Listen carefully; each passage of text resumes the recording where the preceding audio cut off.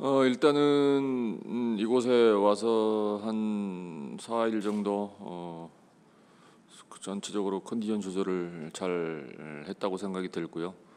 또 우리 선수들도 어, 이런 큰 대회 나와서 그 어떤 그 자기 축구 인생에 아주 좋은 음, 장면이라고 어, 만들 거라고 어, 기대하고 있고요.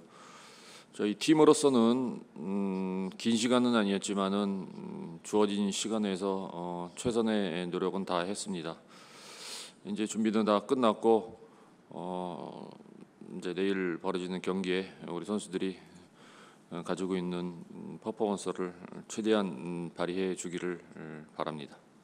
일단 티그리스 팀에 대해서는 저희가 충분히 이, 파악을 했고요. 지금 그쪽에서도 이제 시즌 중이고 어, 최근 벌어진 경기까지도 어, 저희가 전력 분석을 마쳤습니다. 굉장히 강한 팀이고 또 개개인 능력이 아주 뛰어난 팀이고 또 선수들의 어떤 능력적인 측면에 있어서도 어, 아주 정상급의 에, 팀이라고 어, 느낄 수 있습니다.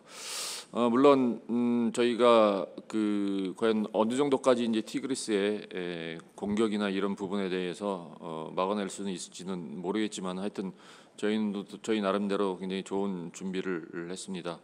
또 그리고 또 거기에 있는 몇몇 선수들이 지금 다시 부상해서 어, 복귀해가지고 더 조- 어, 좋은 어, 스쿼트를 구성하는 걸로 알고 있는데 하여튼 내일 우리 선수들이 최선의 노력을 다하도록 하겠습니다. 어 일단 이렇게 큰 대회에 참가하게 되어서 굉장히 영광스럽게 생각하고 있고요. 저희는 어, 준비가 잘 됐고 뭐 부족한 점도 있겠지만 내일 울산 현대다운 경기력을 보여줄 수 있도록 어, 잘할 수 있을 것 같고요. 그리고 최대한 즐기면서 어, 후회 없이 경기하겠습니다.